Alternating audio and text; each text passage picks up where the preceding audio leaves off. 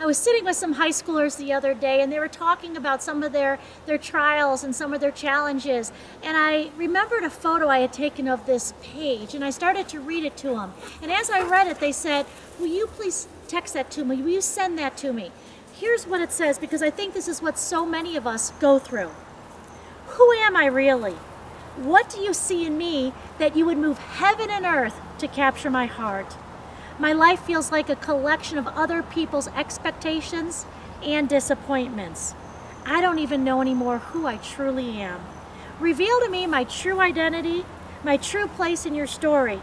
Give me grace to hear your voice.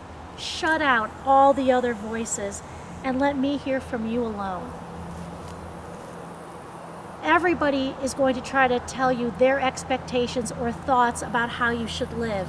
And often those expectations counteract each other or contradict each other. Anyway, um, some people will say, you are too strict a parent, you're not strict enough, you need more discipline.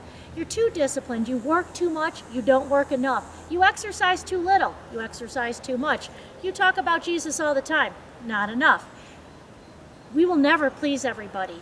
And that's why we have to follow what Galatians 1.10 says. It says, obviously, I'm not trying to be a people pleaser. If I was trying to please man, I couldn't truly be a servant of Christ.